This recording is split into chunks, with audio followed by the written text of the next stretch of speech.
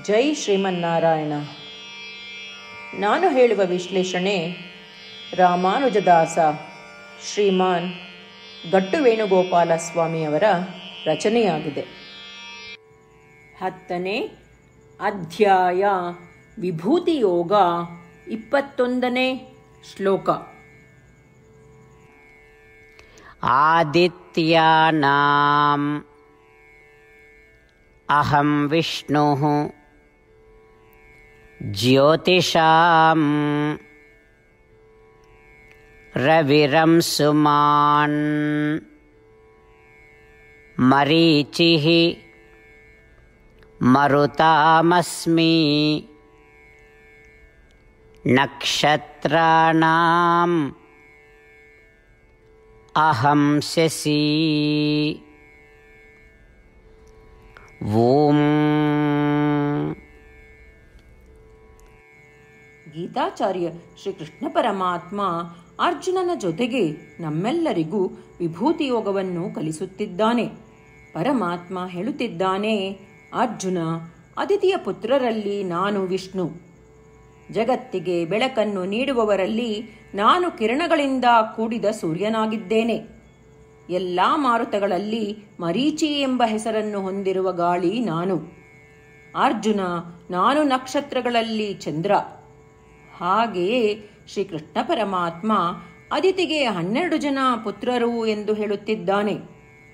ಧಾತ, ಮಿತ್ರ, ಆರ್ಯಮ, ಸಕ್ರ, ವರುಣ, ಅಂಶು, ಭಗ, ವಿವಸ್ವಂತ್, ಪೂಷಾ, ಸವಿತಾ, ತ್ವಷ್ಟ ಮತ್ತು ವಿಷ್ಣು.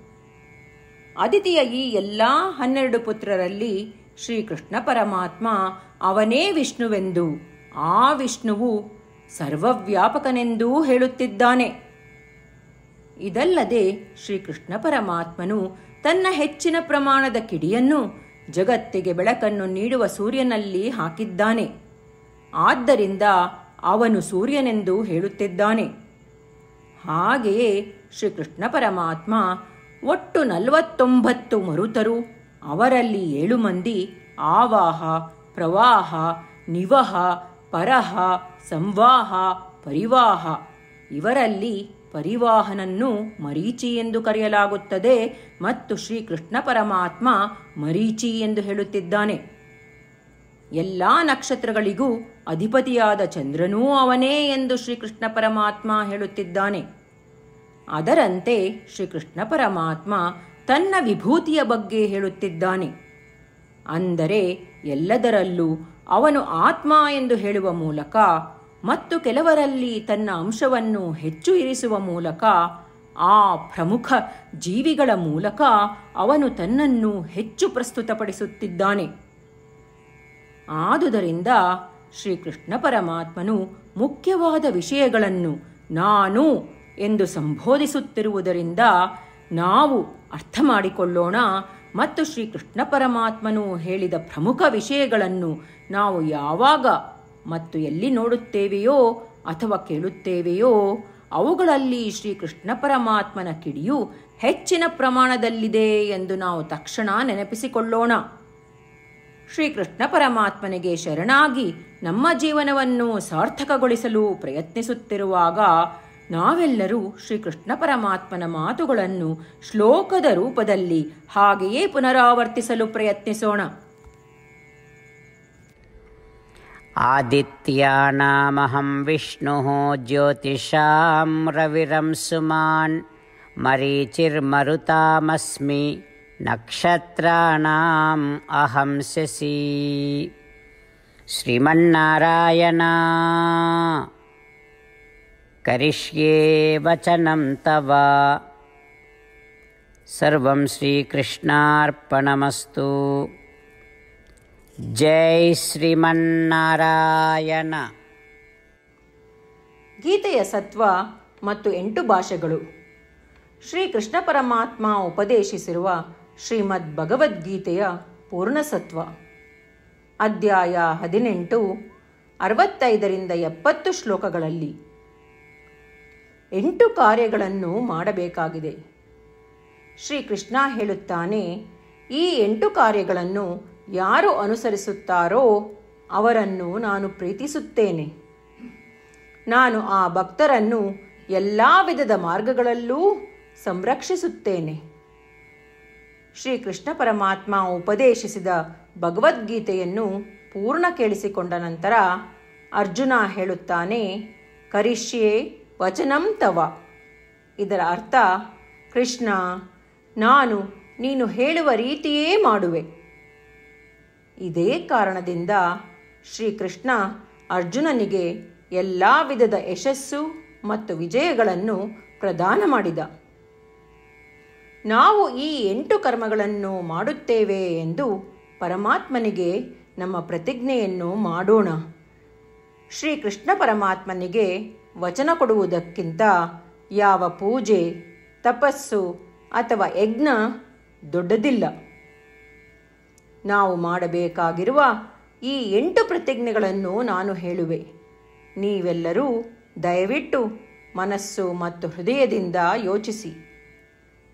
ಈ ರೀತಿ ಶ್ರೀಕೃಷ್ಣನಿಗೆ ವಚನ ಕೊಡುವುದರಿಂದ ನಾವೆಲ್ಲರೂ ಸಂತೋಷದಿಂದ ಪ್ರಕಾಶಿಸುತ್ತಿರುವ ಶ್ರೀಕೃಷ್ಣನ ಮುಖವನ್ನು ದೃಶ್ಯಕರಿಸೋಣ ಮತ್ತು ಆನಂದವನ್ನು ಅನುಭವಿಸೋಣ.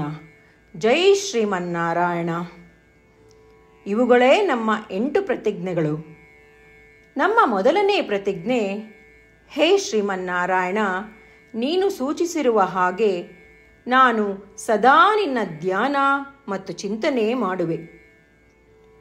ನಮ್ಮ ಎರಡನೇ ಪ್ರತಿಜ್ಞೆ, ಹೇ ಶ್ರೀಮನ್ನಾರಾಯಣ ನೀನು ಸಲಹೆ ನೀಡಿರುವ ಹಾಗೆ ನಾನು ಸದಾ ನಿನ್ನ ಭಕ್ತನಾಗಿರುವೆ.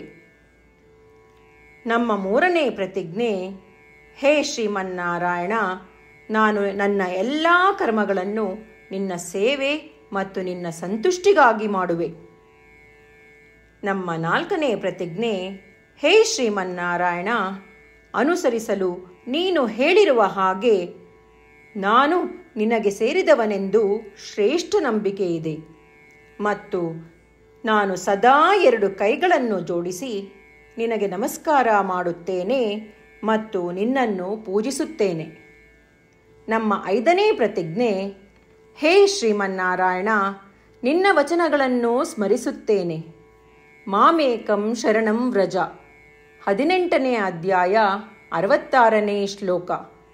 ನೀನು ಹೇಳಿರುವೆ ನಿನಗೊಬ್ಬನಿಗೇ ಶರಣಾಗಬೇಕು. ಶ್ರೀಮನ್ನಾರಾಯಣ, ನಿನಗೊಬ್ಬನಿಗೇ ಶರಣಾಗುವೆ. ನಮ್ಮ ಆರನೇ ಪ್ರತಿಜ್ಞೆ, ಹೇ ಶ್ರೀಮನ್ನಾರಾಯಣ, ನಿನ್ನ ವಚನಗಳನ್ನು ಸ್ಮರಿಸುತ್ತೇನೆ. ಮಾ ಶುಚಃ, ಹದಿನೆಂಟನೇ ಅಧ್ಯಾಯ, ಅರವತ್ತಾರನೇ ಶ್ಲೋಕ. ನೀನು ನಮಗೆ ಪುನರ್ ಆಶ್ವಾಸನೆ ನೀಡಿದ್ದೀಯ. ದುಃಖಿಸಬೇಡವೆಂದು. ನಾನು ಎಂದಿಗೂ ದುಃಖಿಸುವುದಿಲ್ಲ. ನಮ್ಮ ಏಳನೇ ಪ್ರತಿಜ್ಞೆ, ಹೇ ಶ್ರೀಮನ್ನಾರಾಯಣ, ನೀನು ಶ್ರೀಮದ್ ಭಗವದ್ಗೀತೆಯನ್ನು ನಮಗಾಗಿ ಉಪದೇಶಿಸಿ, ಅನುಗ್ರಹಿಸಿ ಮತ್ತು ಆಶೀರ್ವದಿಸಿದ್ದೀಯ. ನಾನು ಕನಿಷ್ಠ ಒಂದು ಶ್ಲೋಕವನ್ನು ದಿನಾ ಪಠಿಸುವೆ ಅಥವಾ ಕೇಳಿಸಿಕೊಳ್ಳುವೆ ಎಂದು ನಾನು ಪ್ರತಿಜ್ಞೆ ಮಾಡುವೆ. ನಮ್ಮ ಎಂಟನೇ ಪ್ರತಿಜ್ಞೆ, ಹೇ ಶ್ರೀಮನ್ನಾರಾಯಣ, ನೀನು ಮನುಷ್ಯ ಸಮುದಾಯಕ್ಕೆ ಗೀತೆ ಉಪದೇಶಿಸಿದೆ. ನಾನು ನಿನ್ನ ಗೀತೆಯ ದೈವವಾಣಿಯನ್ನು ಗೀತೆಯ ಅರಿವಿಲ್ಲದಿರುವ ಭಕ್ತರಿಗೆ ಪ್ರಚಾರ ಮಾಡಲು ಪ್ರಯತ್ನಿಸುವೆ. ಹೇ ಶ್ರೀಮನ್ನಾರಾಯಣ, ನೀನು ಹೇಳುವ ಹಾಗೇ ಮಾಡುವೆ. ನಿನ್ನ ಇಚ್ಛೆಯಂತೆ ನಡೆವೆ. ನಾನು ನಿನಗಾಗಿಯೇ ಶ್ರಮಿಸುವೆ.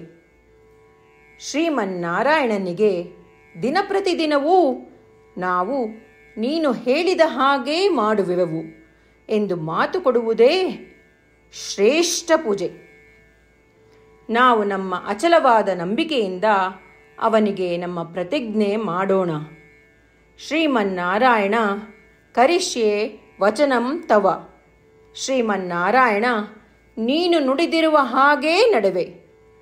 ಸರ್ವಂ ಶ್ರೀಕೃಷ್ಣಾರ್ಪಣಮಸ್ತು. ಜೈ ಶ್ರೀಮನ್ನಾರಾಯಣ. आदित्यानाम्। अहं विष्णुः। ज्योतिषां रविरं सुमान् मरीचिः। मरुतामस्मि। नक्षत्राणाम् अहं शशि। ॐ आदित्यानामहं विष्णुः ज्योतिषां रविरंसुमान् मरीचिर्मरुतामस्मि नक्षत्राणाम् अहं शशि। श्रीमन्नारायणा करिष्ये वचनं तव सर्वं श्रीकृष्णार्पणमस्तु जय श्रीमन्नारायण ಜೈ ಶ್ರೀಮನ್ನಾರಾಯಣ ಎಲ್ಲ ಭಕ್ತಾದಿಗಳಿಗೆ ವಿಶೇಷ ವಿನಂತಿ ನಮ್ಮ ಜೀವನದ ಎಲ್ಲ ವಿಷಯಗಳಲ್ಲಿ ನಮಗೆ ಶೀಘ್ರ ಮತ್ತು ಪರಿಣಾಮಕಾರಿ ಫಲಿತಾಂಶಗಳ ಅಪೇಕ್ಷೆ ಇರುತ್ತದೆ ಇದನ್ನು ಸಾಧಿಸಲು ನಾವು ದಿನಪ್ರತಿದಿನವೂ ಒಂದು ನಿಮಿಷವನ್ನು ನಾರಾಯಣ ಅಸ್ತ್ರಂ ಓದುವುದರಲ್ಲಿ ಕಳೆಯೋಣ. ನಾರಾಯಣ ಅಸ್ತ್ರಂ ದೊರೆಯಲು ನಾರಾಯಣ ಅಸ್ತ್ರಂ ವೆಬ್ಸೈಟ್ಗೆ ಹೋಗಿ. W W dot Narayana Astram dot O R G ನಿಮ್ಮ ಹೆಸರು ಮತ್ತು ಇಮೇಲ್ಗಳನ್ನು ಪಂಜೀಕರಿಸಿ. ನೀವು ಪಂಜೀಕರಿಸಿರುವ ಇಮೇಲ್ ವಿಳಾಸಕ್ಕೆ Narayana Astram P D F ರೂಪದಲ್ಲಿ ದೊರೆಯುತ್ತದೆ. ಈ ಪಿ ಡಿ ಎಫ್ನಲ್ಲಿ ಒಂದು ರಾಮಾಯಣ ಶ್ಲೋಕ, ಒಂದು ಗೀತಾ ಶ್ಲೋಕ ಮತ್ತು ವಿಷ್ಣುನಾಮ ಇರುತ್ತದೆ. ಈ ಮೂರು ಮಿಶ್ರಣವೇ ನಾರಾಯಣ ಅಸ್ತ್ರಂ ಪ್ರತಿಯೊಬ್ಬರೂ ಈ ಶ್ಲೋಕಗಳ ವಿಭಿನ್ನ ಸಂಯೋಜನೆ ಪಡೆಯುತ್ತಾರೆ. ಯಾವಾಗ ಪ್ರತಿಯೊಬ್ಬರೂ ಪ್ರತಿದಿನವೂ ಅವರ ನಾರಾಯಣ ಅಸ್ತ್ರವನ್ನು ಇಪ್ಪತ್ನಾಲ್ಕು ಸಾವಿರ ಭಕ್ತಾದಿಗಳೊಡನೆ ಓದಿ ಅಥವಾ ಕೇಳಿಸಿಕೊಳ್ಳುತ್ತಾರೋ ಒಂದು ಸುತ್ತಿನ ಸಂಪೂರ್ಣ ರಾಮಾಯಣ ಪಾರಾಯಣ ಮೂವತ್ತ್ಮೂರು ಸುತ್ತು ಶ್ರೀಮದ್ ಭಗವದ್ಗೀತ ಪಾರಾಯಣ, ಇಪ್ಪತ್ನಾಲ್ಕು ಸುತ್ತು ಶ್ರೀ ವಿಷ್ಣು ಸಹಸ್ರನಾಮ ಸ್ತೋತ್ರ ಪಾರಾಯಣ ಪ್ರತಿದಿನವೂ ಪೂರ್ತಿಗೊಳ್ಳುತ್ತದೆ. ದಿನ ಪ್ರತಿದಿನವೂ ಈ ರೀತಿ ಮಾಡುವುದರಿಂದ ಗಮನಾರ್ಹ ಮತ್ತು ಅಸಾಧಾರಣ ಫಲಿತಾಂಶ ಹೊರಬರುತ್ತದೆ. ಅದೇ ಕಾರಣಕ್ಕಾಗಿ ನೀವು ಮತ್ತು ನಿಮ್ಮ ಕುಟುಂಬ ಸದಸ್ಯರು ಶೀಘ್ರವೇ ನಿಮ್ಮ ನಾರಾಯಣ ಅಸ್ತ್ರವನ್ನು ಪಡೆಯಿರಿ. ಜೈ ಶ್ರೀಮನ್ನಾರಾಯಣ.